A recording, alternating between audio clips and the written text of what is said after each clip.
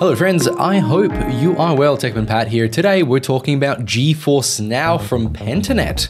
That's right, Australia has the ability to play streamed online games, and Pentanet, being an ISP, has pretty much the permission to do this, I guess. They're the only ones doing it. They have a server in Perth and they have a server in Sydney because, as you can imagine, anytime you want to play online games, the worst thing for you is the latency. So you need to be very, very close to a server, let alone the speed of your internet. So in today's video, I managed to get a free priority pass from an event I went to over the weekend called Pixel Expo. They were giving out these priority passes for one month free. So I got that and I also got a shirt for signing up, which is nice. Yeah, this is not actually a sponsored video or anything like that. I'm just getting to test it out. So what I want to do is just tell you a little bit more about this GeForce Now if you haven't heard about it before. So let's jump into that.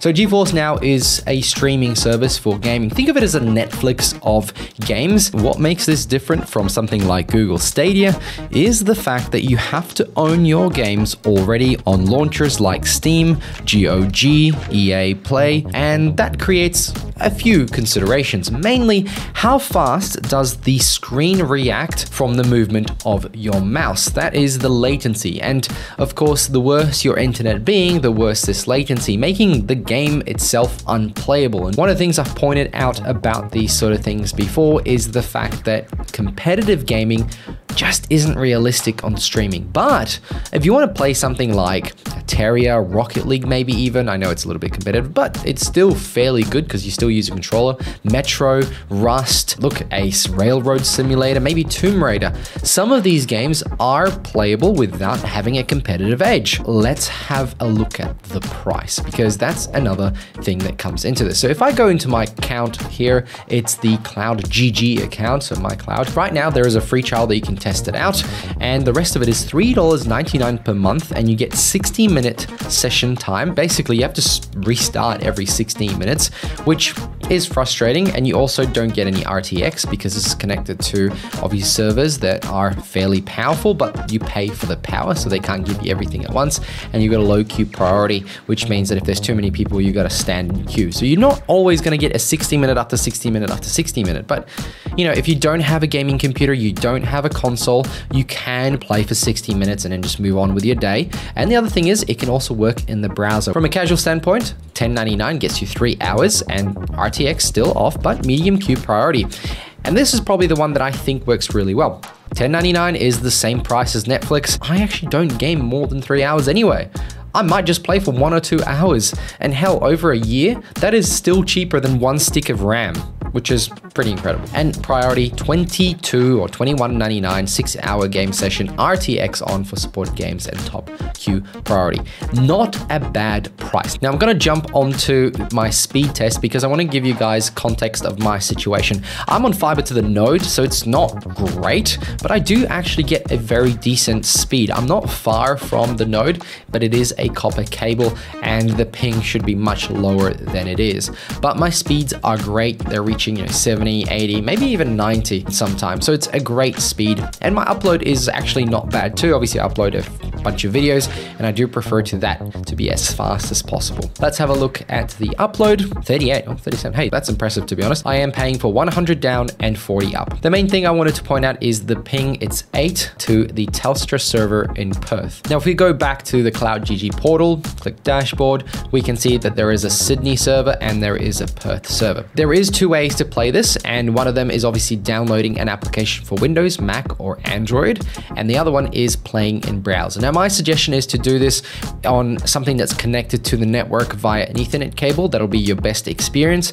But if you do have a wireless device like a laptop or MacBook, make sure it's connected on the 5 gigahertz network, not the 2.4, and if possible, Wi-Fi 6 to speed it up. I have downloaded the Windows application, so let's jump to that. And this is what that looks like. It it's very similar to the GeForce Experience application, and you have a choice of games right here. I'm a premium member, and I wanted to show you some of the settings that we have here. I've connected my Steam account, which is nice. You can basically continue those saves, which is really nice. There is a test built into the application, so we can go click test network, and it'll give us some performance metrics on what to expect. Now, I've heard the suggestion is at least 15 megabits down. You know, I've got 95, which is good, but obviously if you're on Starlink, the ping is super high versus what you'd get on something like the NBN. So this is your measured, you're more than 50 megabits down, you've got 0% packet loss and the latency is 7.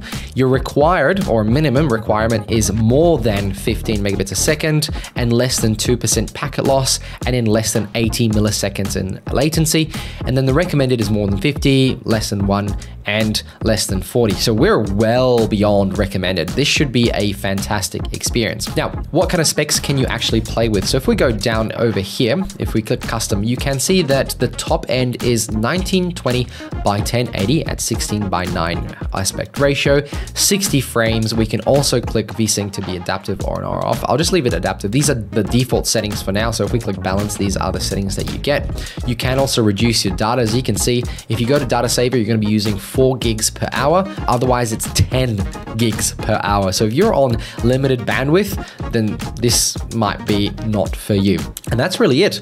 We can click games and go back. Now, obviously, the easiest thing to try would be Baldur's Gate now because it's really uh, popular, but I'm just going to try Cyberpunk because it's a shooting game and it's definitely possible to be played on a stream like this because it's not necessarily competitive, but it's still shooter. It's fun as single player. So I'm going to log into GOG and press play. Connecting, it's loading. Obviously it's it's a PC game. It's going to get booted up inside a server. Okay, I've logged into GOG. Inside this platform on the server, there's the window. It's syncing. I'm not sure how long this is going to take. Okay, I have no idea what's happening. Uh, the screen has gone black on me. Okay, I think that's the loading screen. There it is. It's been a bit of a slow setup. Okay, first things first, I'm moving a mouse in game and can you imagine pushing a stick through water? It's very similar to that, but it's not bad. All right, space to continue. Oh my, oh my golly. Okay, right. First things first. RTX is on right now. And it's at 1080p. And yes, it's getting streamed to my computer. And you know what? It doesn't feel that different. The other thing to note is that Cyberpunk hasn't been the sharpest game in the toolbox. It's, especially when you turn on RTX, it gets very swimmy, as I call it. This feels, oh, it's can I change some settings? Let's just turn off RTX because I don't want that to be affecting the game. So ray tracing off, here we go, apply. That should reduce the latency that RTX creates. Now 1080p, it's, it looks very grainy, but turning RTX off, this feels incredible. Holy crap. This is nuts. Okay, it's there is a slight delay. Maybe not a slight, it's you can feel it. But if you're playing this game, it might actually not make a big difference in your gameplay. Yeah, it won't be perfect as if you're playing it live, but guys, this is streamed over the internet. This is so amazing. Holy crap. I'm playing Cyberpunk at 1080p at 60 frames a second without RTX because I turned it off. But at fairly high quality, I think. Let's have a look. Medium. Okay, medium to low. Okay, let's turn this up to high. Oh, that looks much nicer. Oh, wow. That looks much nicer. Yes, it's the mouse movements that get me, but driving around, no issue at all. If you're playing this with a controller, it would be absolutely fine. Okay, all right, I'm impressed, and it looks really nice now that I've turned up the settings. Let, let's go a little bit more. Ah, okay, all right. The motion blur was hiding a lot of the inconsistencies, and it feels like now I'm playing maybe on like a PlayStation 4 That's what it feels like. Guys, if you don't have a gaming computer and you don't have a console at $22 and you want to play this game, it's incredible. All right, let's try a different game. Some games are available without an account, but most of the big games are required for you to have purchased them. So think of it this way you've bought Baldur's Gate 3 for $80 or $90, whatever the price is nowadays, and then you're paying $20 a month to play it potentially. Now, Larian Studios has made a pretty amazing game that can run on very potato systems, so this isn't necessarily the best use case for GeForce Now. But if you're in a remote area of Australia and uh, you know maybe you've only got your laptop with you and you want to play this game, then certainly you can do it as long as your internet allows it. So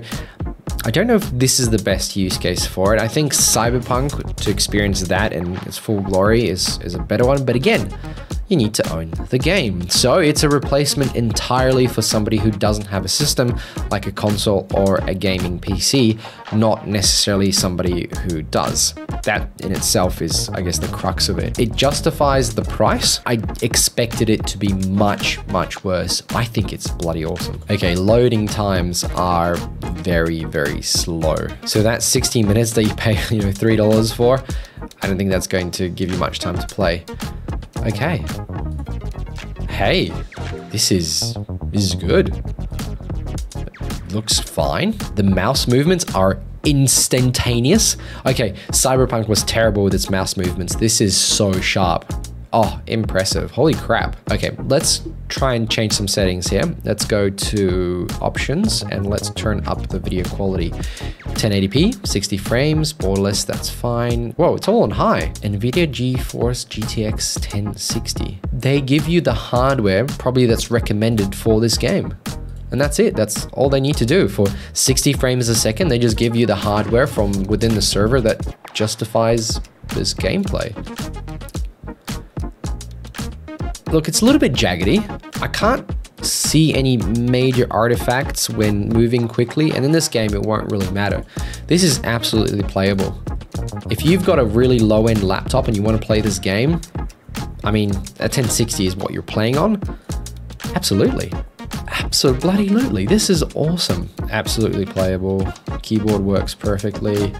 Whose turn is it? It feels when I'm looking at it, now I don't have my glasses on. I don't think I'd need them. I don't think it's my glasses that are causing this, but it just feels like there's a little bit of blurriness to the image. It's not as sharp, and I know it's 1080p, and I know it's a stream, but you know, 1080p streams can be sharp.